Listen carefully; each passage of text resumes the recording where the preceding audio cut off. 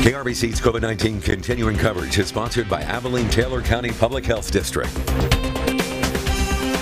The Public Health District is reporting 183 new COVID-19 cases today with 2,156 active cases. One more COVID-19 death means a total of 436.